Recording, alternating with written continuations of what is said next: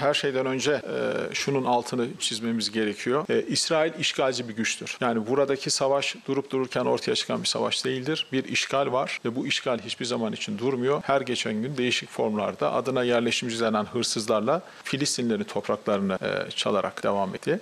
Uluslararası toplum bunu durdurmada, baskı koymada hiçbir şey yapamadı ve gün herkes biliyordu ki bir patlama olacak ve bu patlama 7 Ekim'de oldu. Tabii 7 Ekim'de biz sivillerin öldürülmesini Türkiye olarak kınadık. Bu bizim prensibimiz ama e, aynı şekilde İsrail'in binlerce masum Filistinliyi sistematik bir şekilde sadece bir gün için değil 7 aydır sistematik bir şekilde öldürmesi, milyonlarca insanı yerlerinden etmesi, koca bir yerleşim yerini yaşanamaz hale getirmesi bu bir insanlık suçudur. Bu bir soykırım teşebbüsüdür.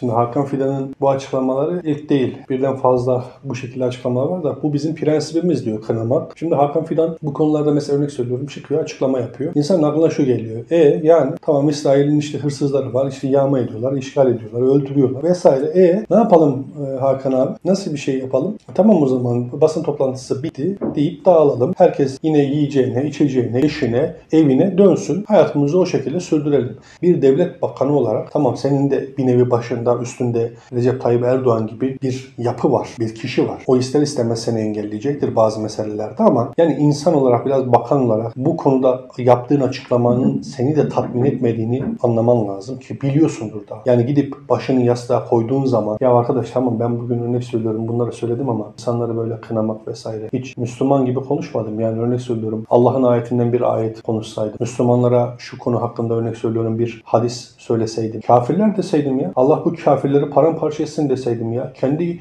inancıma, kimliğime göre konuşmuş olurdum diye de düşünmüş müsün bilmiyorum ama gerçek manada bugün Türkiye'ye bu gerek. Ya biz kimliksizleştik, biz yozlaştık. Ne dediğimizi bilmez bir hale geldik. Batılılar gibi konuşuyoruz. Konuştuğumuz sözlerin bir karşılığı yok. Yani münafık gibi bir konuşma içerisindeyiz. Münafıkların yaptığı konuşma içerisindeyiz. Söz var, amel yok. Söz var, inanç yok. Yani bu kurumlar ben yine söylüyorum Hakan Fidan gibi bütün bakanlara söylüyorum. O kurumlar, o bakanlıklar sizi kurtarmayacak. Sizler yaptığınız bu görev zaman zarfında devlet bana bunu emretti. Devletin işte yapması gereken buydu. Ben devletin kanunları veyahut istekleri doğrultusunda bunu yaptım demek sizi vallahi kurtarmayacak. Allah subhanahu ve teala sizin bakanlığınıza mı bakacak zannediyorsunuz? Yaptığınız devletin yapısına mı, devletin büyüklüğüne mi bakacak zannediyorsunuz? Allah subhanahu ve teala'nın büyüklüğünü de tanımayan bir devlet yapısını ele alırsak hiç hiçbir şekilde değeri yoktur bugünkü Türkiye rejiminin Allah subhanahu ve teala'nın katında. Şirk sistemidir, zulüm sistemidir. Allah subhanahu ve teala Lokman aleyhisselamın dediği gibi sakın şirk koşma. Şirk büyük bir zulümdür dediği zulümün sistemidir. Büyük bir zulmün içerisinde olan bu sisteminizle beraber insanları yönetmeye çalışırken sizlerin de Allah katında hiçbir değeri olmadığını bilmeniz gereklidir. Yani bir bakan olarak farklı şeyler söyleyebilirsiniz. Yani örnek söylüyorum Dışişleri Bakanısın veyahut farklı İçişleri Bakanı veyahut başınızdaki o adam. Bunlar çıkıp konuşmakla bir şeylerin olmadığını yıllarca göremedi. Bu insanlara gıda göndermek yerine silah yardımı gönderseniz, kendi devlet yapısı olarak devletin sınırlarını yeniden şekillendirip Amerika'sıdır, İsrail'idir bu tür kişilerle herhangi bir şekilde bir bağlantı içerisinde olmasanız, kendi ekonominizi, kendi toplumunuzu, sisteminizi kendiniz belirleseniz ki bunu da İslam düzeni olmadan beceremeyeceksiniz. Tek bir sorun, tek bir çözümünüz varsa İslami bir düzendir. Başka bir düzen sizin için bir çözüm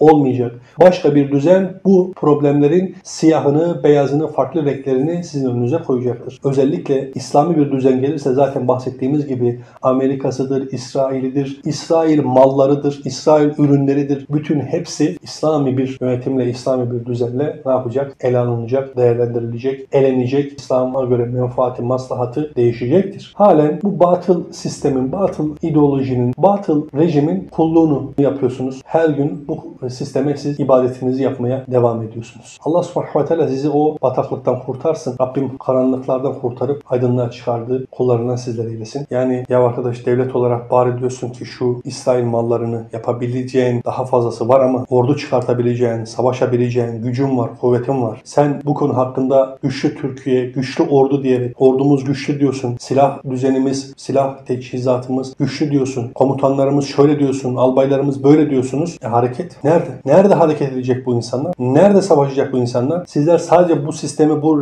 rejimi, bu devleti korumak için mi bu insanları kullanacaksınız? Yani bir yerde zulüm var. O zulümü durdurun. O zulümün karşısında durun. O zulüme karşı bir mücadele edin demeyeceksiniz de nerede diyeceksiniz? Nerede kullanacaksınız? Kullanacaksınız bunca teçhizatı, bu gücü, bu kuvveti. Allah Allah subhanahu ve teala bu gücü, bu kuvveti de sizin elinizden aldığı gün isteseniz de kullanamayacaksınız. Sizler bu sistemi korumaya devam edin bu insanlarla beraber. Allah subhanahu ve teala yeri geldiği, zamanı geldiği zaman sizleri zelil bir hale getirdiğinde, güçsüz bir hale getirdiğinde o zaman isteseniz de kullanabilecek bir ordunuz, teçhizatınız, herhangi bir şekilde gücünüz, kuvvetiniz olmayacak. Firavun'un sonu ne oldu? Peki soru Karun'un sonu ne oldu? Peki soru Haman'ın sonu ne oldu? Peki soru zalimlerin sonu ne oldu? Şimdi sünnetullah değişmiyor ama sizler sanki Allah subhanahu ve teala'ya haşa değiştirmişsiniz gibi Allah'ın bu konu hakkındaki ayetlerini, bu konu hakkındaki rızasını değiştirmişsiniz gibi hal ve hareket içerisindesiniz. Allah sizi o bataklıktan kurtarsın.